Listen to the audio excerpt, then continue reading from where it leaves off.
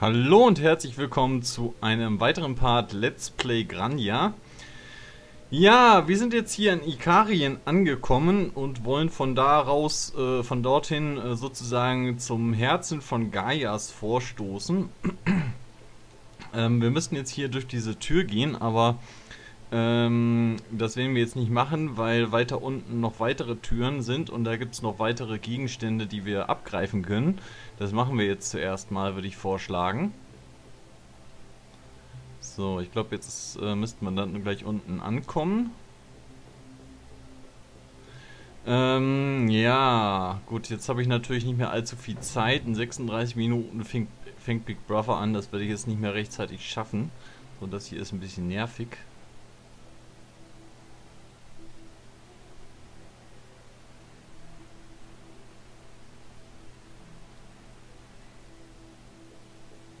So, gehen wir erstmal hier rein, würde ich sagen. Ähm, was ich noch äh, erzählen werde, ähm, das soll hier auch so ein bisschen heute ein Retalk-Part werden und damit ich mich da ein bisschen drauf kon mehr konzentrieren kann, werde ich ähm, heute ähm, ähm, die Gruppe kämpfen lassen. Taktiken. Ähm, nicht Fairplay, sondern rasend, damit das auch ein bisschen schneller vorangeht.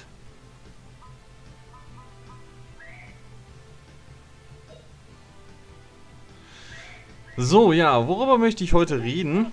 Ähm, über das Video von Rezo hinsichtlich der Schulöffnung. Also, ich stimme Ihnen da voll und ganz zu, ähm, auch aus anderen Gründen.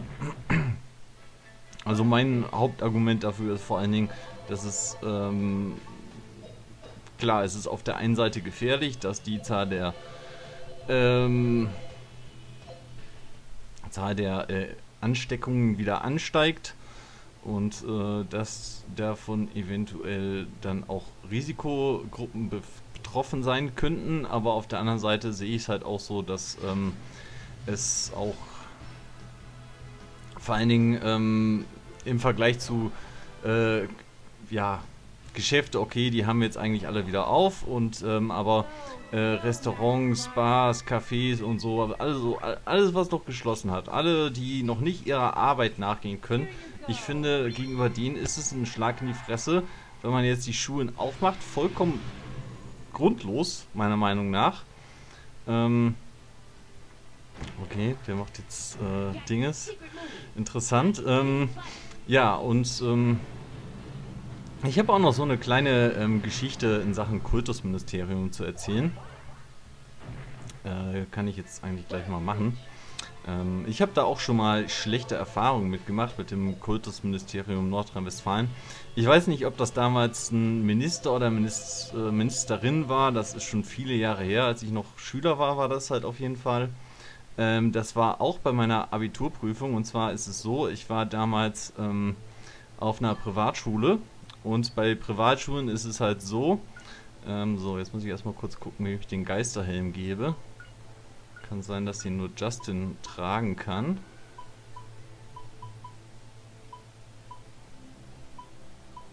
Äh, ja, gebe ich den Geisterhelm.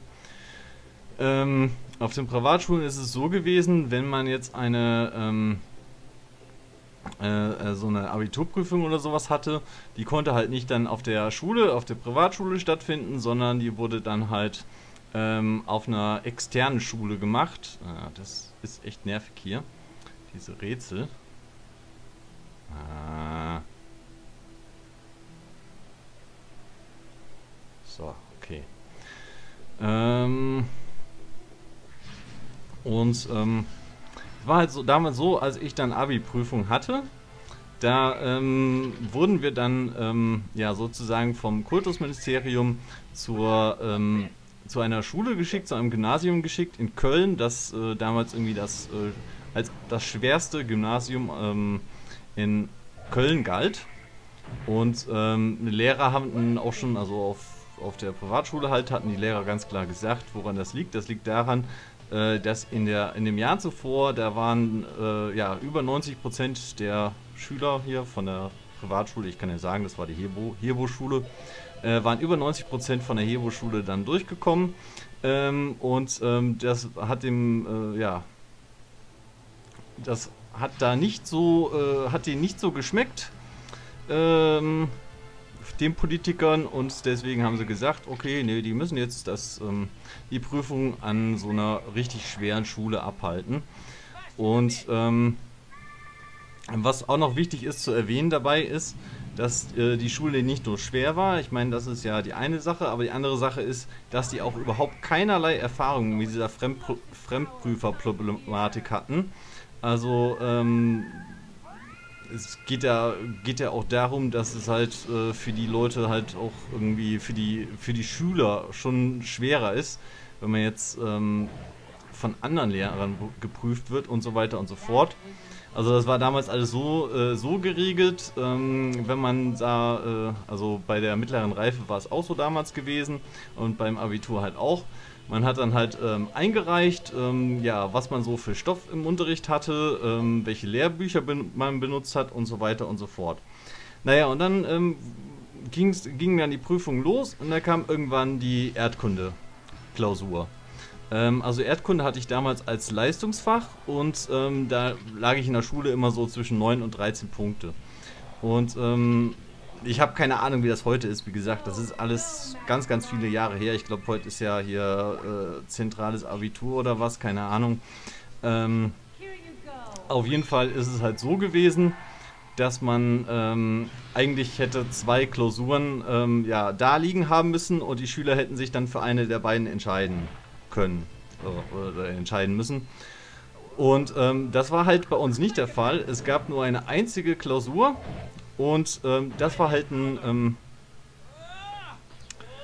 ein äh, gravierender Verstoß. Und dann hat sich dann damals irgendwie der Regierungspräsident oder was weiß ich auch immer äh, eingeschaltet und hat gesagt, ja, das geht so nicht und so. Und ähm, naja, der Direktor hier von der Hebo, der hat dann noch versucht, der Hans Biegert, äh, das irgendwie so zu klären und gesagt, ja, man könnte ja sagen, irgendwie die Schüler, äh, die äh, Durchschnitts-, also die Noten der Schüler werden halt irgendwie um drei Punkte erhöht oder ähm, bei der ähm, Dinges, der äh, Dingespräsident wollte halt, dass man halt ähm, noch, also dass, die, dass die Klausur wiederholt wird. Da hat er gesagt, ja, da könnte man es ja wenigstens so machen, dass sich, ähm, dass dann sozusagen die bessere von den beiden Noten genommen wird.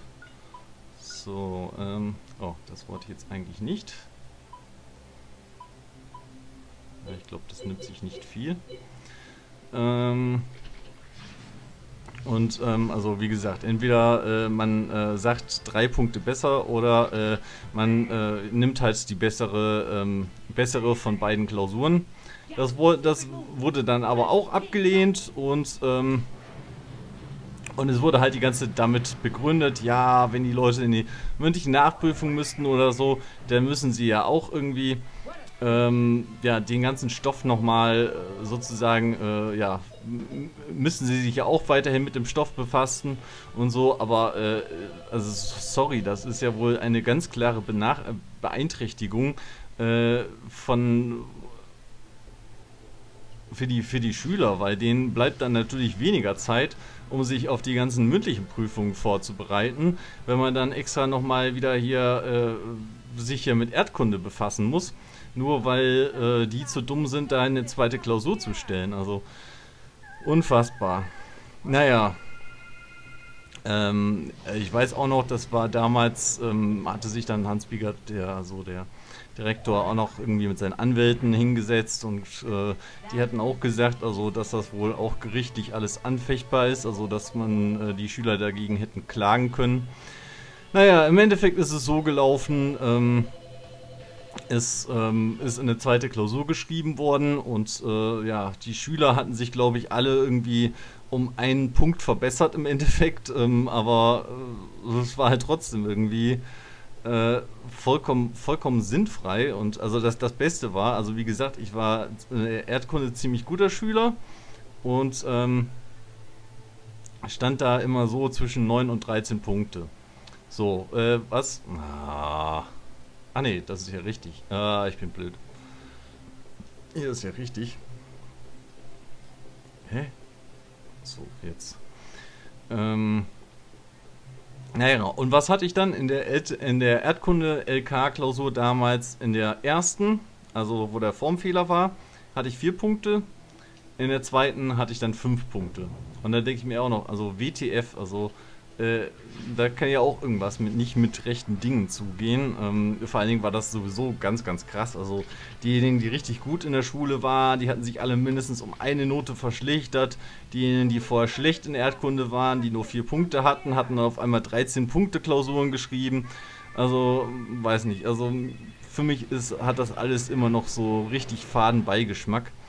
Diese ganze Erd Erdkunde-Klamotte. Naja, und im Endeffekt hat der, ähm, hat man dann ja auch gekriegt, was man wollte, nämlich äh, sind nicht über 90 Prozent äh, ja, durchgekommen, haben das Abitur bestanden, sondern nur noch über 70 Prozent, also irgendwie über 20 Prozent oder vielleicht sogar über 30 Prozent, ich weiß gar nicht mehr genau, wie viel, zu wie viel wir waren und wer alles durchgefallen ist, aber ich glaube sogar über 30 Prozent haben dann das Abitur nicht bestanden. Äh, letztlich, äh, ich gehörte auch dazu,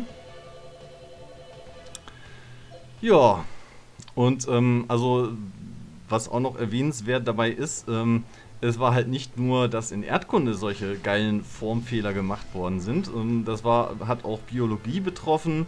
Da haben sie ähm, äh, ja, Biologie und ähm, äh, Deutsch, genau.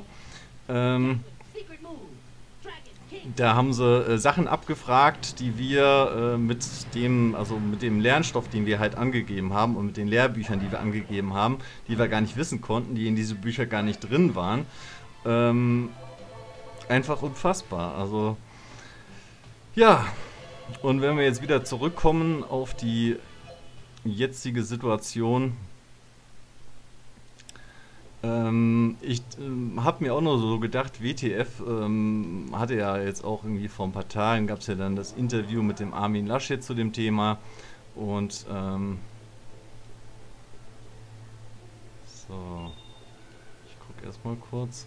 Ah, jetzt, jetzt kommen hier immer so komische Fallen runter, ich weiß ganz genau.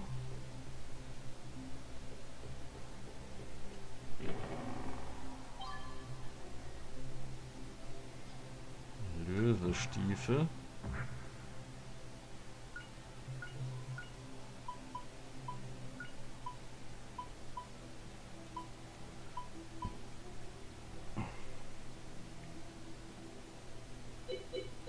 Nee, das ist nichts für mich.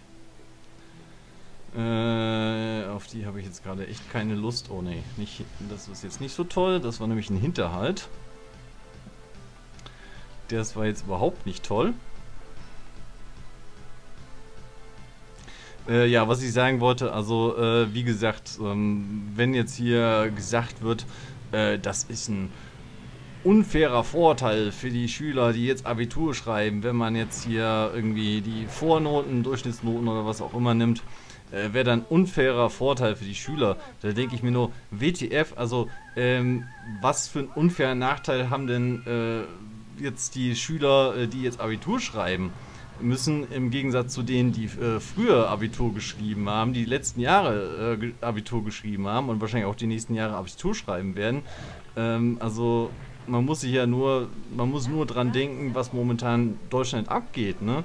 Das können Kinder dabei sein, irgendwie, deren Eltern irgendwie, ja, am, am, am, Rande ihrer Existenz stehen, stehen, stehen finanziell, weil, äh, ja, die, keine Ahnung, vielleicht Restaurantbesitzer sind und so, die nicht wissen, wie es weitergehen soll. Es können Kinder dabei sein, die irgendwie Angehörige verloren haben aufgrund von Corona. Und äh, die sollen sich dann da jetzt hinsetzen und äh, Abitur schreiben, als wäre nichts gewesen, während in Deutschland immer noch täglich, was weiß ich, äh, ein paar hundert Menschen sterben oder hundert oder so sind es ja auf jeden Fall, die täglich momentan noch sterben. Da denke ich mir einfach nur, ähm, also, sorry, aber das ist doch wirklich ein krasser Nachteil. Okay, hier geht's nicht lang.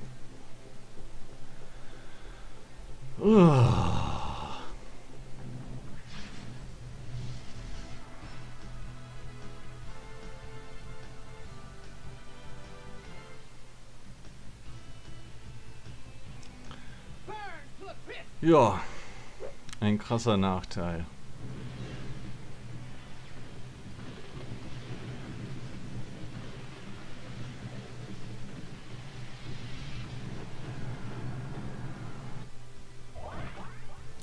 Ja, und äh, also wie gesagt, da muss ich auch sagen, wenn, wenn sich da jetzt irgendwelche äh, früheren, äh, irgendwelche Schüler, äh, die da früher Abitur gemacht haben und bei denen es nicht so war, wenn die sich da auf den Schlips getreten fühlen, äh, dann muss ich sagen, also sorry, ähm, wenn, wenn das jetzt keine, keine Ausnahmesituation ist, die sowas gerechtfertigt, was ist denn dann eine Ausnahmesituation?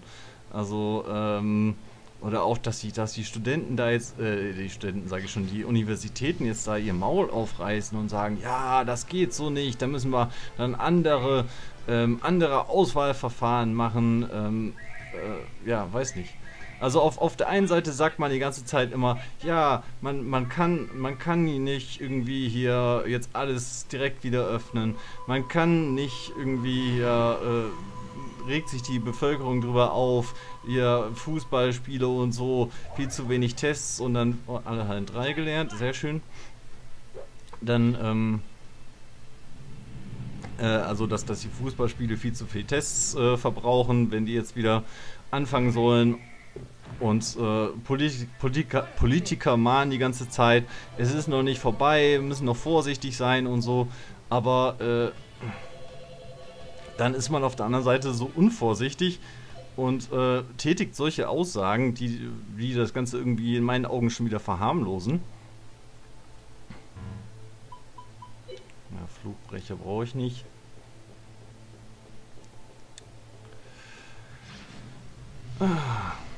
Ja, verharmlosen. Das ist, äh, das ist, das ist in meinen Augen wirklich. Ähm, gut, ich meine, die Gefahr für ist, ist vielleicht nicht so groß mit, mit den Ansteckungen, ähm, aber sie ist trotzdem gegeben und ähm, wenn dann halt irgendwelche äh, Kinder da krank werden und äh, das nicht wissen, weil es bei ihnen vielleicht milde verläuft, milde verläuft und so dann wieder andere Kinder anstecken, dann haben die Kinder vielleicht irgendwie hier, sind unvorsichtig, äh, ähm, oder Kinder sage ich schon, ja, Schüler sind ja dann meistens Jugendliche in Sachen Abitur, sind dann unvorsichtig und ähm, haben dann Kontakt noch zu anderen Menschen und so weiter und so fort, stecken weitere, weitere Menschen an. Also ich, ich kann es ich kann's echt nicht verstehen. Und wie gesagt, also vor allen Dingen finde ich es einfach nur eine absolute Frechheit ähm, gegenüber den Menschen irgendwie, die jetzt noch irgendwie äh, nicht ihrer Arbeit nachgehen können, die sich um ihre Existenz Sorgen machen müssen und was weiß ich alles. So, jetzt kriegen wir hier lauter Zeug. Ich hau mal die Geweihhelme weg. Und dann äh, ja, kämpfen wir mal gegen die.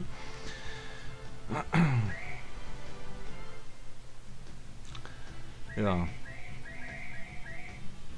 Also ich muss ehrlich gesagt sagen, ähm, dass die Bundesliga wieder startet. Da ähm, auch auch mit diesen Testkap Testkapazitäten, die da verbraucht werden, das finde ich zehnmal sinnvoller, als dass jetzt hier äh, die Schulen auf Teufel komm raus wieder aufmachen wollen, um da äh, noch irgendwelche Abiturprüfungen zu schreiben. Wo die Schüler jetzt eventuell vielleicht ganz andere Sorgen haben irgendwie ähm, und sich da gar nicht richtig drauf konzentrieren können.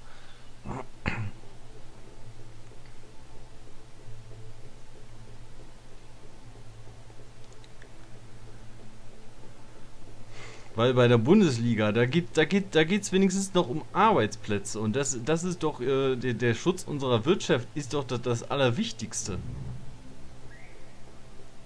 Was was jetzt momentan äh, ja ansteht und nicht irgendwie so ein, so ein anderer Quatsch. Jetzt muss ich mal gucken, wie geht's denn hier weiter? Ach so geht's weiter.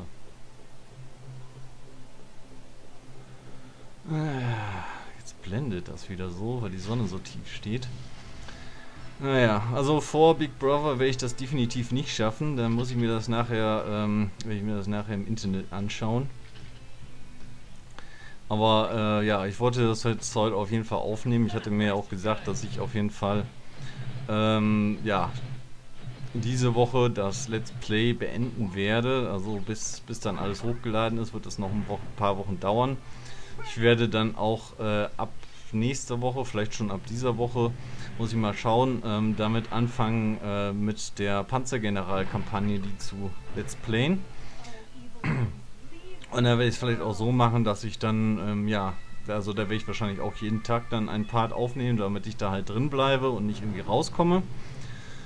Ich hoffe, das ist jetzt auch nicht so eine extrem lange Kampagne. Äh, wie gesagt, ich habe das jetzt auch noch nie gespielt gehabt. Das wird dann komplett blind, die Kampagne. Ähm, werde sie mir vielleicht nur mal kurz irgendwie äh, in der Suite angucken, um so ein Gefühl zu, für, dafür zu kriegen, was da so in etwa ansteht und was man vielleicht haben muss, was, was, was man sich kaufen sollte.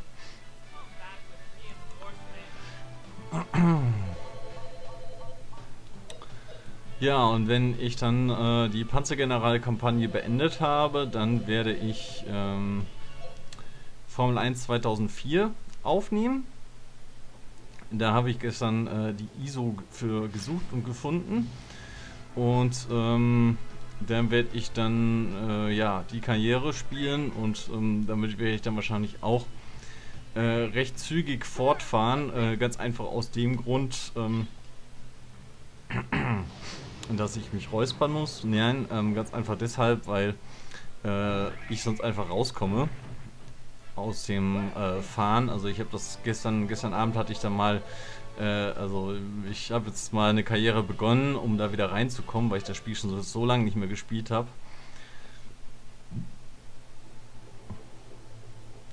Und äh, ja, wo geht's denn hier lang? Ach so, ich bin hier so mal gekommen, okay. Äh, das heißt, da müssen wir mal gucken, wo wir dann lang müssen.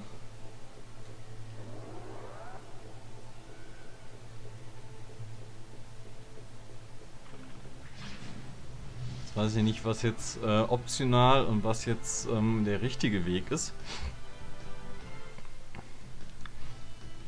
Naja, auf jeden Fall bei ähm, ähm, Dinges wäre es halt wirklich so, dass ich halt da viel zu schnell draußen wäre. Wenn ich da jetzt, sage ich mal, nur jede Woche einen Part aufnehmen würde oder so, dann käme ich da halt nicht richtig in den Flow rein beim Fahren. Ähm,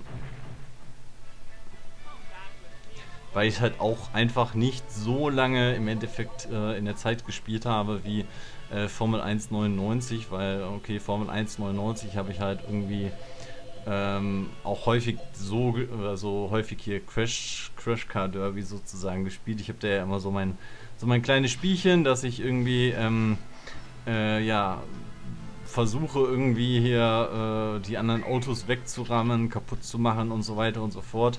In der Hoffnung dann Arrows und Minardi, die Überrundungswillis, äh, irgendwie in die Punkte zu bekommen. Ähm, gut, da fahre ich dann jetzt nicht so richtig irgendwie, aber ähm, man kriegt den ja trotzdem, wenn man das häufig spielt, auch wenn man jetzt nicht vernünftig äh, nicht eine vernünftige WM fährt, kriegt man ja trotzdem ein besseres Gefühl für das Spiel. Ach ja.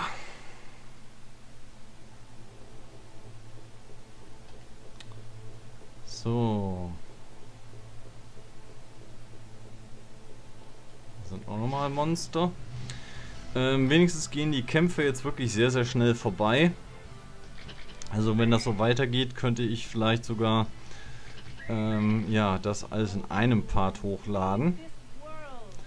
Äh, da wird jetzt später nochmal ein Endgegner zwischendurch kommen. Da werde ich dann äh, ja mit dem ähm, Ding jetzt aufhören, äh, sage ich mal, zu, zu dem Schulöffnungsthema habe ich ja jetzt auch so ziemlich alles gesagt, was ich sagen wollte eigentlich. Ähm, wie gesagt, also für mich ist wirklich äh, das primär, dass, dass die Arbeitsplätze, Arbeitsplätze gerettet werden, dass äh, Leute zur Arbeit gehen können und äh, momentan die Universitäten sind geschlossen, die wissen nicht, wann es weitergeht. Äh, Firmen stellen, äh, Firmen entlassen momentan eher, als dass sie irgendwelche Leute neu einstellen. Also wo ist da jetzt die Notwendigkeit? Äh, dass man, dass man, wieso sagt man nicht einfach, man, man verschiebt das Abitur, wenn man jetzt, wenn man jetzt unbedingt will, dass jetzt irgendwie äh, Prüfungen ähm, ja normal stattfinden. So, ich gehe mal zurück, weil ich glaube, das hier ist der richtige Weg. Deswegen gehe ich mal kurz zurück und gucke, was da in einem anderen Weg drin war.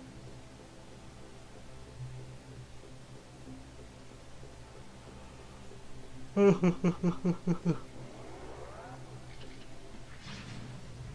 ist nur Geld drin. Lol.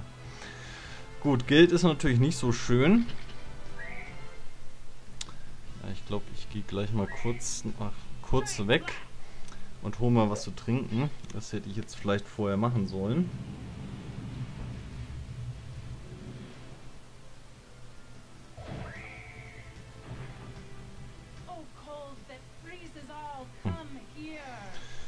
Genau, Liete, Diamantenstaub. Ganz meine Meinung.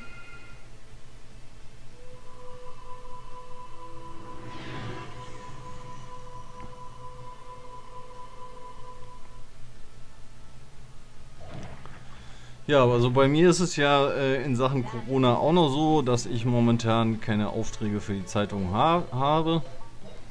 Äh, was äh, könnte natürlich auch selber irgendwelche, sag ich mal, Artikel initiieren oder so, mir irgendwelche, irgendwelche Themen selbst suchen, darüber berichten und so und die dann an die Zeitung verkaufen.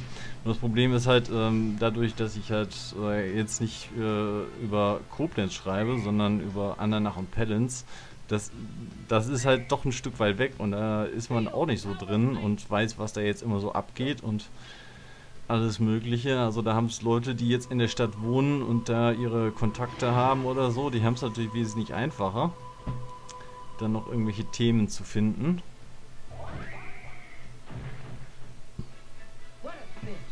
A finish, genau.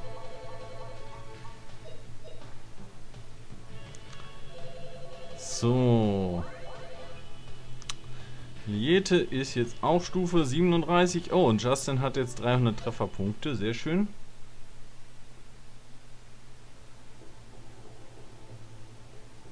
Okay, jetzt haben wir hier alles besiegt. Dann können wir wieder zurückgehen.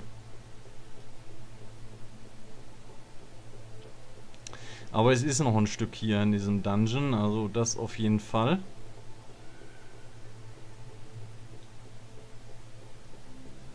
So, jetzt müssen wir hier durch, glaube ich.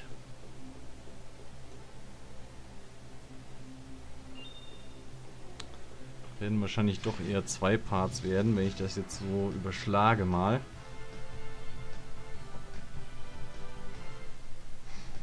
Ja. Ich werde auf jeden Fall nachher noch ein bisschen äh, Formel 1 ähm, weiterspielen. Ich habe mir jetzt gesagt, ich werde jetzt äh, vor jedem Rennen erstmal hier äh, Zeitfahren machen äh, um wieder mich an die Strecke zu gewöhnen, weil ähm, äh, Formel 199, das bin ich ja schon so oft gefahren, da bin ich ja schon so drin. Und äh, äh aber hier 2004 gab es dann ja ganz andere Strecken, die es 99 noch nicht gab. Zum Beispiel hier äh, ähm, Shang äh, China, ähm, Ma Mal nee, nicht Malaysia, Mensch, Bahrain, genau äh, USA hier, Indian Indianapolis. Ähm, äh, das war die falsche Richtung. Ach ja, es bleibt schwierig, den richtigen Weg zu finden.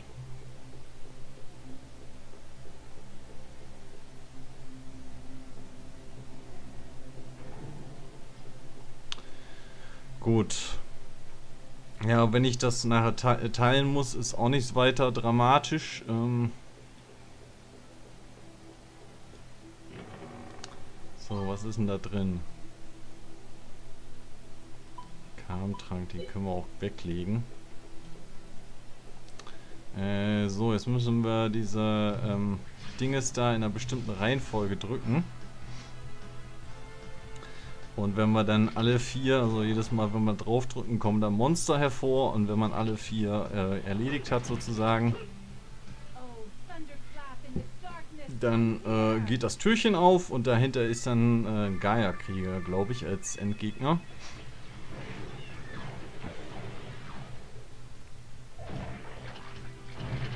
Und es kann auch sein, dass der noch weiter weg ist. Ich bin mir gerade vollkommen unsicher. Ob der jetzt wirklich schon hinter der Tür ist oder äh, noch ein Stück weiter entfernt. Oder es sind sogar zwei Endgegner. Ja, ich glaube, es sind zwei Endgegner hier in diesem Gebiet. Ähm 16, ja. Alles fit.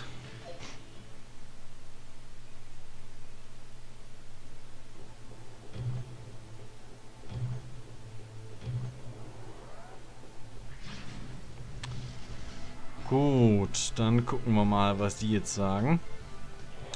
Ob die gerne sterben möchten.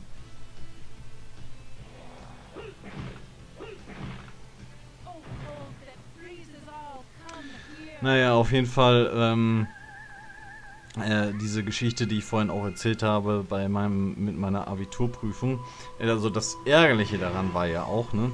Ähm, bei, bei sag ich mal, normalen Schulen ist es ja so, die haben dann wenigstens doch hier eine äh, Fachhochschulreifeprüfung oder sowas.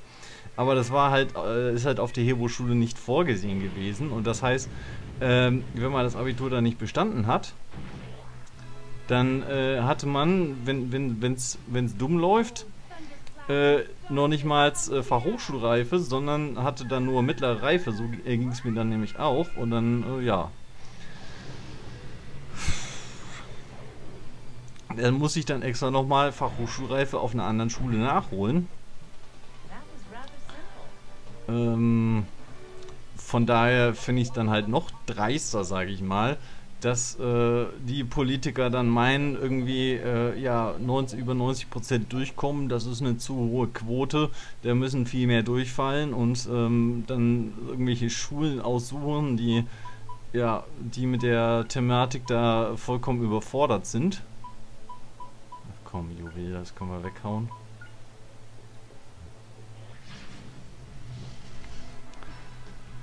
Und ähm, ja, aber deswegen ähm, ja, ist auch, ist auch meine Meinung, dass es den, diesen Kultusministern nicht unbedingt äh, um die Interessen der Schüler geht, sondern denen, denen, denen geht es wirklich in aller, in aller äh, Instanz darum, die Interessen von Universitäten, von, äh, ja, äh, von, der, von, von der Wirtschaft vor allen Dingen auch, dass die gewahrt werden, aber um die Schüler geht es denen einen Scheißdreck.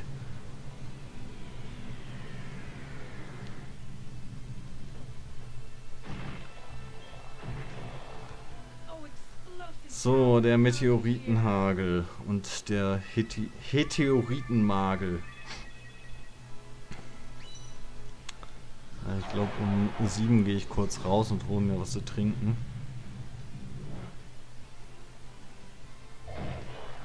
Ich könnte jetzt einfach hinten zum, zum Kasten mit der Apfelschorle gehen, aber die ist halt pups warm jetzt, das schmeckt halt nicht.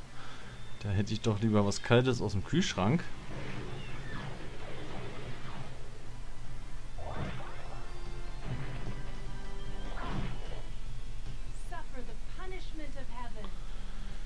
Ach ja, wieso macht er eigentlich immer so einen Blödsinn, ey?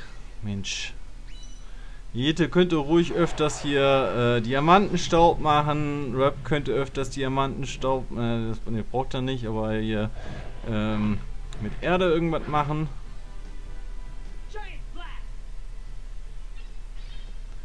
Ist doch wirklich komplett dämlich.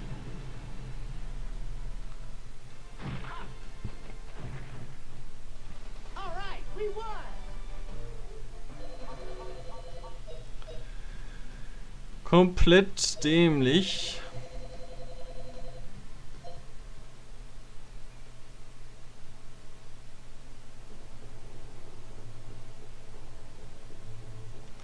Okay, ähm, ich guck mal kurz, weil äh, wir hatten ja ein bisschen Schaden, glaube ich, genommen.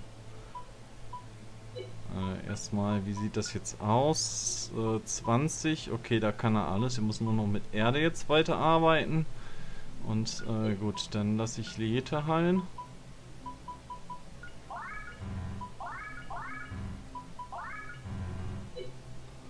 Okay, ja.